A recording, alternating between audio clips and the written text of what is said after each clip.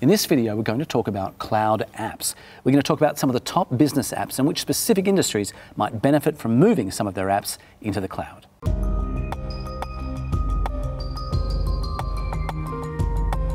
G'day, Dan. Now, you've probably had some interesting experience over the years as the CEO of an IT services company when it comes to cloud apps. What are some of the top business apps that you've run into that really benefit businesses when they move to the cloud?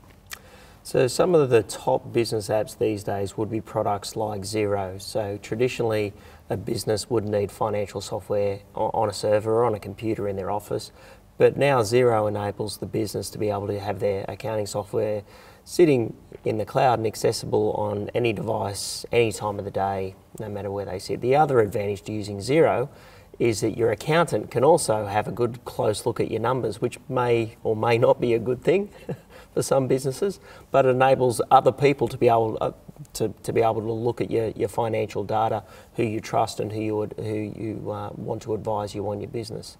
Absolutely, and it's not just Xero, by the way. There are others as well. Uh, just so that you know, we're not full disclosure. We are not a Xero marketing company. Um, Reckon, what is Reckon and APS and Genie? Are these contenders in that space? So, so some of the other financial software would be Reckon. Uh, Reckon Cloud would, also be uh, financial software that would enable companies to move their, their data into the cloud. Uh, and, and, these are these are all products which are very easily available. They, they are what we would call public cloud products um, that enable businesses to be able to just pay a, a, small amount each month and be able to access their data. So businesses would tend to move it into the cloud if they basically didn't want to build, didn't want to have a server running running their financial accounting software anymore. Instead of having to upgrade their server, if they just thought, well, I want to pay a an amount each month to be able to run my financial system, that's where something like Reckon or Xero would be useful. Okay, good. Let's talk about some other uh, industry pieces here beyond accounting software. Yep. In terms of cloud apps for, for example, the medical business, what are some examples of how that might work? There, there's quite a few different products out there for medical software, um, and it really just comes down to is it a general practice or is it a specialist office? Uh, generally, uh, the the specialists would go for a product called Genie is one of the more popular ones. Okay. So Genie uh, offer a product uh, that not only sits on a server, can sit on, on a, in a private cloud environment like ours, but can also sit in the, in the Genie cloud as well.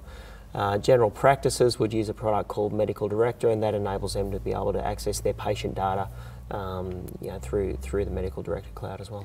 What would be some of the uh, advantages of moving to a cloud-based medical system? I think you had a story, something to do with speed that was worth noting. A business will move their software into the cloud generally for you know a couple of reasons. It will be the speed of that application. They want that application to be to be faster for, for many of their users. So particularly if they work across multiple offices, it's mm. always the, the best way to get that software uh, accessible is to, is to have it in the cloud as opposed to having it sitting on a server in your office. Mm. So you, you move it into the cloud for speed.